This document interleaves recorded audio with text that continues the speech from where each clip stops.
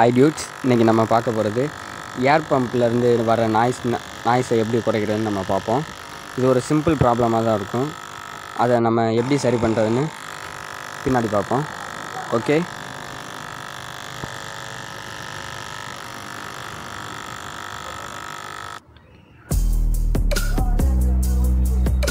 First நம்ம இதில் உள்ள அந்த ஃபோர் ஸ்க்ரூஸையும் நம்ம கழட்டி எடுத்துக்குவோம்.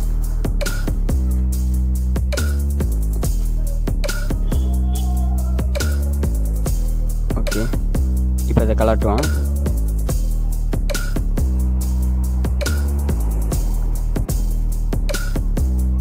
மோஸ்ட்லி இந்த மாதிரி ப்ராப்ளம் எதனால் வரும்னா உள்ளே உள்ள அந்த ஸ்க்ரூ அந்த டிரான்ஸ்ஃபார்மர் இந்த அட்ஜஸ்ட்மெண்ட்டு மாறி இருக்கிறதுனால தான் அதை நம்ம சரி பண்ணிடலாம்.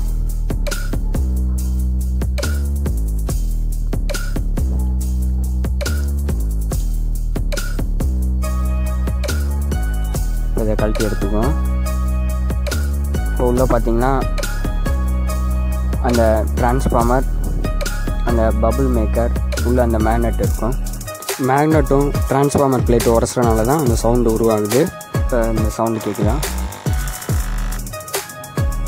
டிரான்ஸ்ஃபார்மர் ஆடுதான்னு நல்லா செக் பண்ணிக்கோங்க. இந்த கரெக்டாக இருந்துச்சுன்னா விட்டுருங்க. இப்போ இந்த ஸ்க்ரூ தான் ப்ராப்ளமாக இருக்கும். அலைன்மெண்ட் லூஸாக இருக்கும். கழட்டி எடுத்துவோம்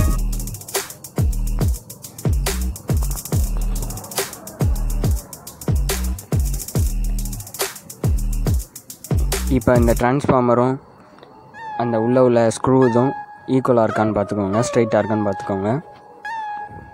அது கூட நம்ம வாசரோ இல்லை நட்டோ யூஸ் பண்ணி அந்த ஸ்க்ரூவை டைட் பண்ணோம்னா கொஞ்சம் க்ரிப்பாக இருக்கும். இப்போ நம்ம மாட்ட போகிறோம்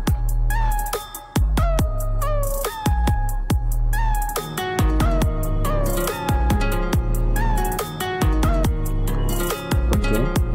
கொஞ்சம் டைட் வச்சுக்கணும் ஃபுல் கம்ப்ளீட்டாக ஃபுல் டைட் வச்சுக்கோங்க. ஃபுல் டைட்டு வச்சுட்டு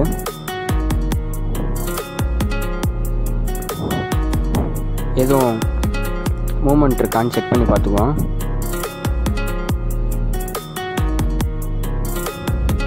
செக் பண்ணி பார்ப்போம். இல்லை. ஆ இப்போ சவுண்டு ரொம்ப ரெடியூஸ் ஆகிருக்குது இப்போ தெரியும். இப்போ இதை நம்ம கேப் போட்டு க்ளோஸ் பண்ணிடுவோம்.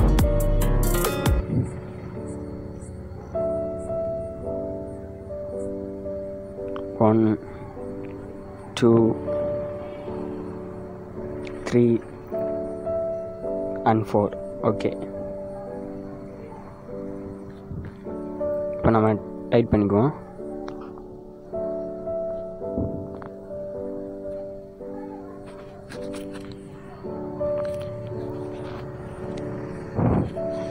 மோஸ்ட் ஆஃப் அஸ் இந்த இது இதனால தான் வரும் இதுக்கு சில பேர் செல்லோ டேப்பு இல்லை double side tape board cardboard இது மாதிரி எதுவும் நிறைய யூஸ் பண்ணுவாங்க. அதெல்லாம் வேஸ்ட்டு சிம்பிள் இந்த ப்ராப்ளமாக தான் உள்ள மோட்டருக்குள்ளே இருக்கும்.